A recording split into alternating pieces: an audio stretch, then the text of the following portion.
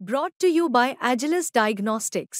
Health test की बात आती है तो मैं भरोसा करता हूँ। India largest diagnostics company Agilus diagnostics खुद को टेस्ट करते रहो। एंबुलेंस आई कि वहाँ पुलिस लाइन वाली मर्चरी में जहाँ पीएम होता है वहाँ रखा दिया जाए।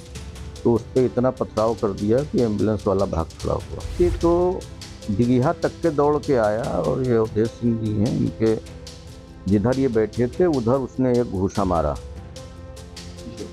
शीशे पे तो हमने पूछा तो बताया तो दिखाया लोगों ने, वहाँ पत्थर चल रहे थे, गाड़ी जब मुड़ रही थी। गाड़ी पीट रहे थे, गाड़ी के ऊपर बोरा फेंक दिया जलाने के लिए। वो एक फायर भी हुआ, उसी भीड़ में वो भी उसमें दिखाई दे रहा है। तेरह अक्टूबर चौदह अक्टूबर की दरमियानी रात हुई बहराइच की हिंसा में। ये तो बहुत सारे लोग प्रभावित हुए, लेकिन इसमें एक शख्स जिनका कल नाम आया कि उन्होंने एफआईआर कराई है, वो पीड़ित हुए। उन्होंने भी पत्थरबाजी का शिकार होने की बात कही है। पुलिस में एफआईआर दर्ज कराई है। उनका बेटा भी बाल बाल बचा तो इस पर विस्तार से बात करने के लिए हमारे साथ बीजेपी के महजी से विधायक सुरेश्वर सिंह हैं। हम जानेंगे कि क्या ऐसा हुआ था, उन दंगाइयों ने, उन प्रदर्शनकारियों ने किस तरीके से आपको टारगेट किया था और इस पर आपका क्या कहना है? पहली बात तो हम दंगाई नहीं कह सकते, क्योंकि वो सौ के साथ एकत्र भीड़ थी। जो सौ को ला करके सड़क पर रखे हुई थी और ये डिमांड कर रही थी कि जिसने गोली मारी है, उसको यहीं ला करके वहीं गोली मारी जाए। तो ये भारत के संविधान में या न्याय व्यवस्था में ऐसा कुछ है नहीं कि किसी व्यक्ति को ला करके खून का बदला खून ये हमारे संविधान में और हमारी न्याय व्यवस्था में नहीं है। वो जब साबित होगा तो ये अलग बात है कि न्यायालय उनको फांसी दे सकता है। न्यायालय कह सकता है कि जब तक जीवित रहेंगे तब तक जेल में रहेंगे आज़म कारावास। तो उसमें उनके परिवार वालों से बात की गई। डीएम साहब भी थी, हम थे, दिवाकर पांडे जी थे और हम लोग, कई लोग थे। हम लोग वहाँ पर गए, घर वालों से बातचीत हुई। वहाँ हर व्यक्ति कह रहा था कि ये हमारा भाई है। जब परिवार वालों से पूछा तो जो सज्जन उसके मुँह पर बैठे थे, सौ के, हमने पूछा, ये कौन है? तो फिर मैं जानते नहीं हूँ कि ये कौन है। तो हमने, हमारे बेटे ने, दिवाकर जी ने और एक उसके चचेरे भाई ने सौ को उठाया और मर्चरी की तरफ़ लेकर के चल दिए। वहीं पे गाली गलौज होने लगा, मुर्दाबाद के नारे लगे। तो ये तो हम लोगों का जेवर है, मुर्दाबाद और गाली गलौज ये हम लोगों का जेवर है इसमें कोई आपत्ति नहीं थी। हम लोग पहुँचे वहाँ, मर्चरी में ताला बंद था, भीड़ पहुँची, मर्चरी का गेट तोड़ दी फिर आगे कमरा खुलवा करके उसमें रख दिया गया। फिर एंबुलेंस आई कि वहाँ पुलिस लाइन वाली मर्चरी में जहाँ पीएम होता है वहाँ रखा दिया जाए। तो उस पर इतना पथराव कर दिया कि एंबुलेंस वाला भाग खड़ा हुआ। उस समय तो वहाँ डीआईजी और कमिश्नर भी पहुँच गए थे। उसके बाद में हम लोग वहाँ से चले आए। डीएम साहब ने कहा कि चलिए चलते हैं। मूर्ति खड़ी हुई है।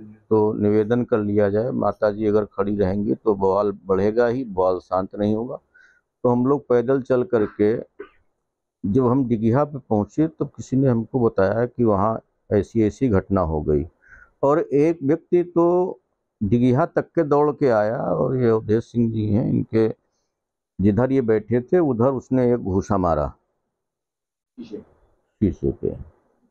तो हमने पूछा तो बताया तो दिखाया लोगों ने, वहाँ पत्थर चल रहे थे, गाड़ी जब मुड़ रही थी। गाड़ी पीट रहे थे, गाड़ी के ऊपर बोरा फेंक दिया जलाने के लिए। वो एक फायर भी हुआ, उसी भीड़ में वो भी उसमें दिखाई दे रहा है। तो तेरह तारीख की घटना को हमने अट्ठारह तारीख तक के रोका कि शायद कोई अपना हो तो आ जाए, अपनी बात स्पष्ट कर दे। भीड़ भाड़ में ऐसा हो जाता है। अट्ठारह तक जब कोई नहीं आया तो हमने जो नाम पता थे और सैकड़ों लोग लिख करके अपनी बात हमने भेज दी। उसका मुकदमा दर्ज हो गया। अब कल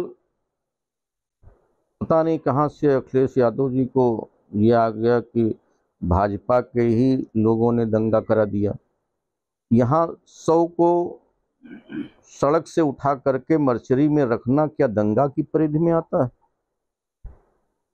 अगर उनकी उनकी परिभाषा यही है तो फिर वो क्या राजनीति करते हैं? इस पर हम कुछ कह नहीं सकते। और ये भाषा उनकी समाप्त हो जाएगी। तेरह नवंबर को जिस दिन मतदान हो जाएगा उपचुनाव का, उस दिन ये भाषा बंद कर देंगे। हम लोग तो इस मत के हैं और योगी जी के यहाँ तो ज़ीरो टॉलरेंस है।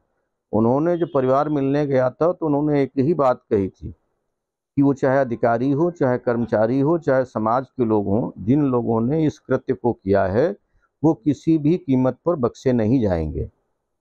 सबके खिलाफ ऐसी कार्रवाई होगी कि इस घटना की पुनरावृत्त अपने जीवन में नहीं करेंगे। विधायक जी एक बड़ा सवाल आ, उन्होंने अखिलेश यादव ने एक वीडियो अपने ट्वीट में शामिल किया है और वो दैनिक भास्कर दावा करता है कि उनके हिडन कैमरे में आया है।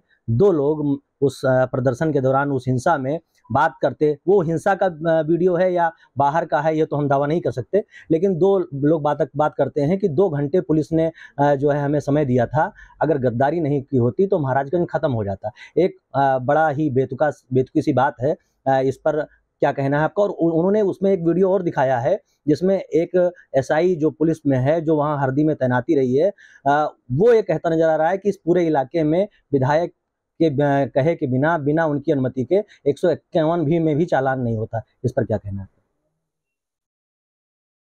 नंबर एक बात तो जो आपने कहा कि जो दो व्यक्ति बैठे थे और कह रहे थे कि दो घंटे का मौका मिल जाता तो महाराजगंज साफ़ हो जाता, यही नहीं कह रहा था। वो ये भी कह रहा था कि जिसका जहाँ नंबर आया उसने जला दिया, लेकिन वो कर क्या रहा था? वो एक कागज़ पे चिप्पड़ रखे दो लोग मिल- रहे थे। नशे में थे और चिप्पड़ पीने की फिर तैयारी कर रहे थे। तो अगर हम एक नशेड़ी की बात को इतना संज्ञान लेंगे कि वो क्या कह रहा है, क्या कर रहा है, और उनकी स्थिति भी आप देख लीजिए कि अगर कोई ढकेल भी देगा तो भीड़ में वो, उनका पता नहीं लगेगा कि वो कहाँ चले गए। और जहाँ तक एक सब इंस्पेक्टर का है तो उनका नाम अगर हो तो हमारे ख्याल से मैं तो किसी सब इंस्पेक्टर को फ़ोन भी नहीं करता हूँ कभी।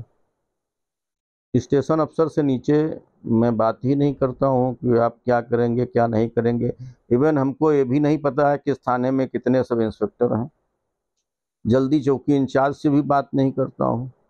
तो किस उसमें कह गए हो, अगर हमको इतना ताकतवर मानते हैं तो उनके मुँह में घी शक्कर?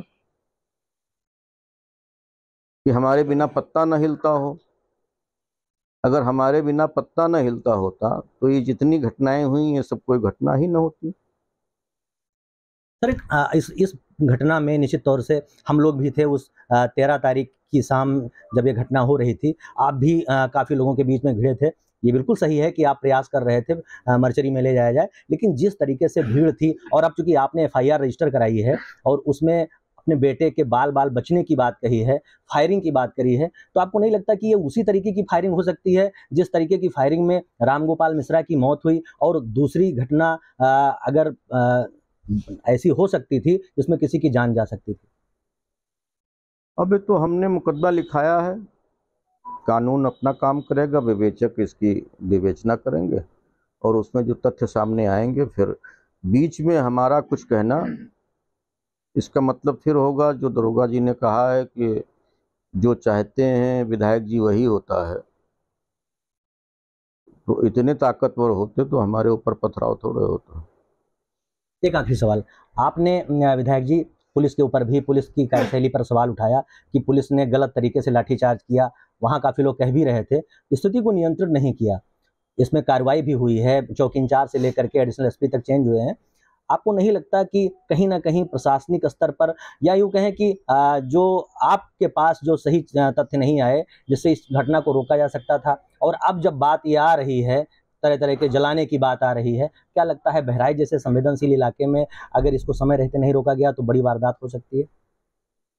बहराइच जैसे संवेदनशील इलाके में अगर निष्ठावान देशभक्त और अपने कार्य कार्यों के प्रति जागरूक अधिकारी नहीं नियुक्त किए जाएँगे। जैसा कि आप जानते हैं कि बहराइच जनपद तो संवेदनशील की श्रेणी में आता है। भारत, नेपाल की सीमा से जुड़ा हुआ है। ऐसे में सजग प्रहरी का होना बहुत आवश्यक है। तो ये थे बीजेपी के तेज तर्रार विधायक प्रखर रूप से अपनी बात कहने वाले सुरेश्वर सिंह जिन्होंने कई सारी बातें कहीं।